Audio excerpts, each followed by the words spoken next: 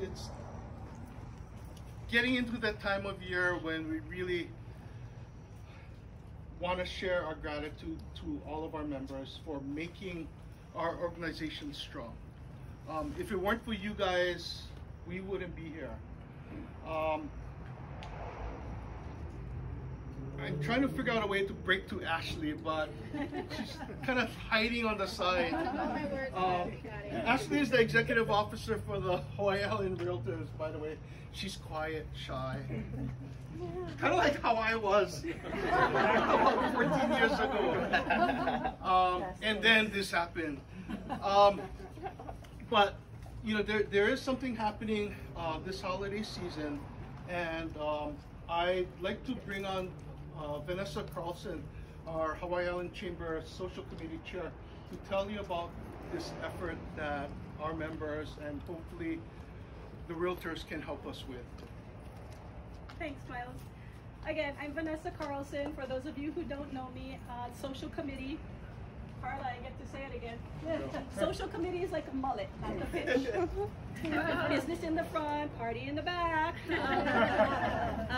All kidding aside, the Social Committee for the last four years has spearheaded a service project for the Hawaii Island Chamber of Commerce called Holiday Angels.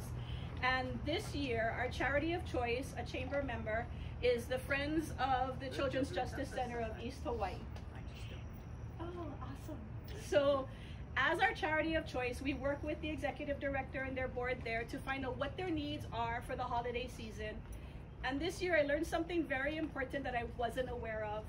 And that is every holiday season, the Friends, along with the Salvation Army, and I think two other nonprofits in town, uh, coordinate a sibling Christmas. And if you didn't know, in foster care here, oftentimes teen foster children are not housed with their younger siblings. And this holiday sibling Christmas is an opportunity for them to get together and have a Christmas time together. Um, and their goal this year for the Friends is to raise $5,000 in either monetary or in-kind donations like gift cards because we're targeting teenagers. Um, so they like to give gift cards. Um, if you'll bear with me, just a little bit of background, this event, they provide the food, dessert, they have, they set up a store where each of the kids can go in and choose something from this store. It'll be gift wrapped and they can present it to their brother or sister there. They have craft tables, Santa's there. Uh, the prizes would be the gift cards. Um, they also have like photo booths, everything imaginable to make this a memorable event for these kids who don't get to be together a lot. Wow. See? Better you than me. You right. Yeah. So we really would like you all, you don't have to be a chamber member to give. I actually have friends because I shared about this on social media um, that donated gift cards that I'm turning in. Um, when you donate directly to the Friends of the Children's Justice Center, it is tax deductible as allowed by law.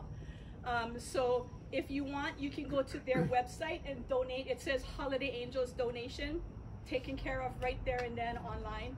You can also pay by check, which you can drop off here at the chamber office, and Miles and Carla will get it to them. Um, tonight, for three potential donors, we have these beautiful centerpieces that Miles may or may not have created. so the first three people who donate a $100 will each get one of these bouquets to take home. Um, uh, we have a get, we have a taker in the back. Thank you. Thank you. Thank You you. get to pick yours. Yeah. So, um, you get first dibs. Oh, wow.